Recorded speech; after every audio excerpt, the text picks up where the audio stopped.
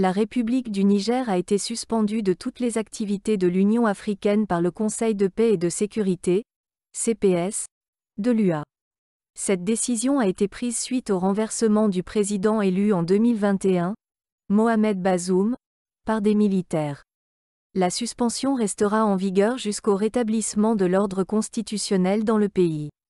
La Communauté économique des États de l'Afrique de l'Ouest, CDAO, a également exprimé son intention de déployer une force ouest-africaine pour rétablir l'ordre constitutionnel au Niger. Tout en privilégiant une solution diplomatique mais en maintenant la possibilité d'une intervention militaire. L'Union africaine elle-même est divisée quant à l'utilisation de la force comme option pour résoudre la crise.